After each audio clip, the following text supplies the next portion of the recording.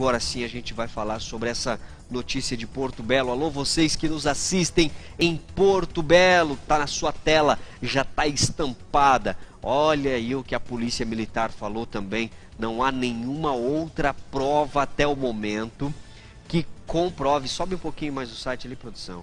Que comprove esta versão apresentada.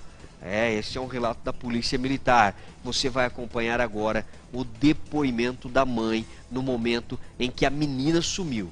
A gente também tem outro depoimento onde a mãe aparece com a filha já.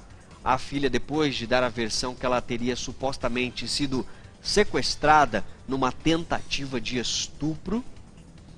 Mas esse vídeo, este, este segundo vídeo, a gente não vai colocar até para preservar a identidade da menina. Mas agora vocês acompanham o desespero da mãe ao perceber que a sua filha de 12 anos de idade acabou saindo de casa e desaparecendo.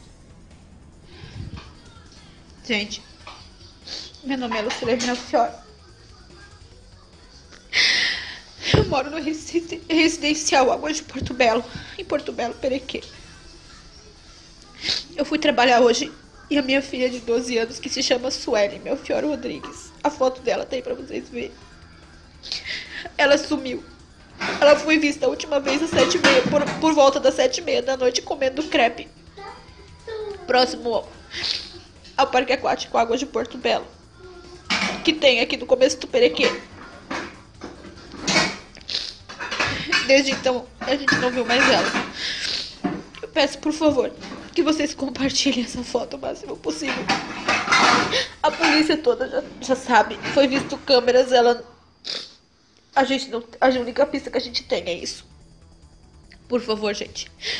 Se vocês puderem me ajudar a encontrar minha filha, compartilhe o máximo que vocês puderem, por favor.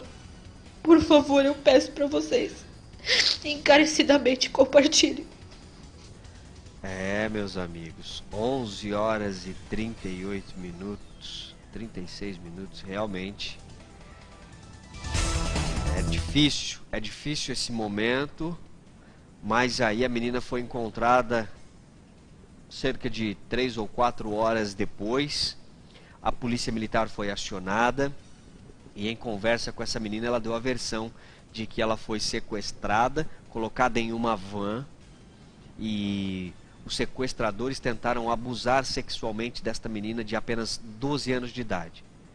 Ela conseguiu se desvencilhar através de socos e pontapés, e aí, e aí sim, ela foi encontrada vagando por uma rua, foi levada para casa. A mãe gravou outro depoimento. Se você quiser assistir o depoimento, você acessa o Facebook, tem todos os detalhes ali.